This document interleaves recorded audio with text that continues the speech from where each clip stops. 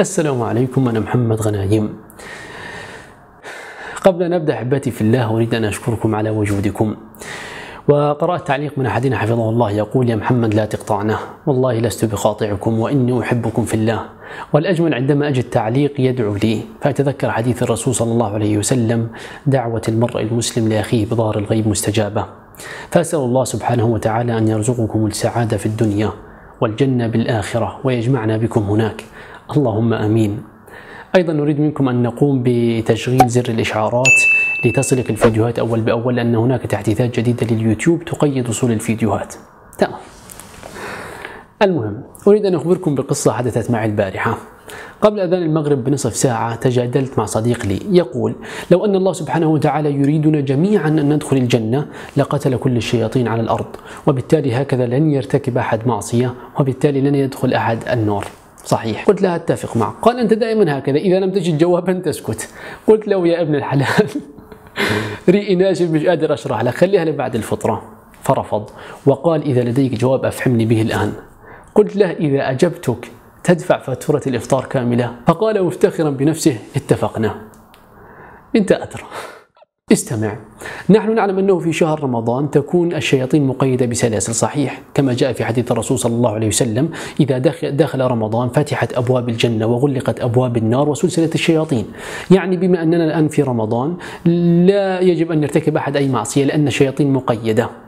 ولكن على الرغم من ذلك تجدنا نقع في المعاصي نفسها. فمن يوسوس لك للمعصية الآن؟ طيب اسمع اسمع. الشيطان عندما عصى الله الشيطان عندما عصى الله من وسوس له وهو الشيطان أساسا.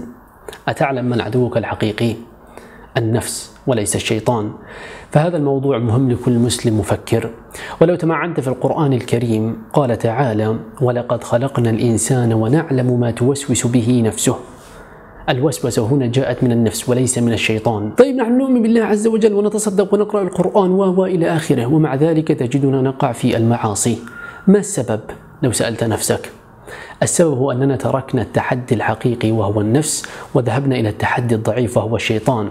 قال تعالى إن كيد الشيطان كان ضعيفا. فالشيطان وتأثيره عليك ضعيف جدا مقارنة بتأثير النفس نفسها. وزد عندك. في الجاهلية كانوا يعبدون الأصنام صحيح اللات العزى نسرى يعوق إلى آخره. كل هذه الأصنام هدمت. إلا إله مزيف ما زال, ما زال يعبد إلى الآن. قال تعالى أفرأيت من اتخذ إلهه هواه؟ أفرأيت من اتخذ إلهه هواه؟ يا الله. يعني هوى النفس إذا تمكنت منك حينها لن تصغي للوازع الديني وبالتالي تجد أن من اتخذ إلهه هواه تجده يقع في كل محظور. ففي جريمة قتل قابيل لأخيه هابيل. نعم قابيل لأخيه هابيل. قال تعالى فطوعت له نفسه قتل أخيه. نفسه. طيب اهدى اهدى أنت الآن يا محمد تقول أن الشيطان تأثيره قليل علينا. كيف ذلك؟ أخي الحبيب أختي الفاضلة الشيطان مدخله إلى الإنسان عن طريق النسيان فهو ينسيك الثواب والعقاب وبالتالي تقع في كل محظور. فكيده ضعيف كما ذكرنا في الآية السابقة ولكن استمع إلى هذه الآية. يقول تعالى وما أبرئ نفسي إن النفس لأمارة بالسوء.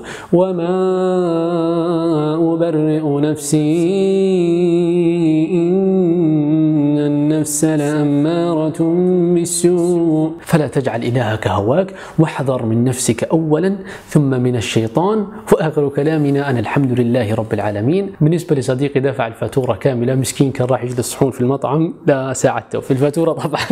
ودمتم في أمان الله.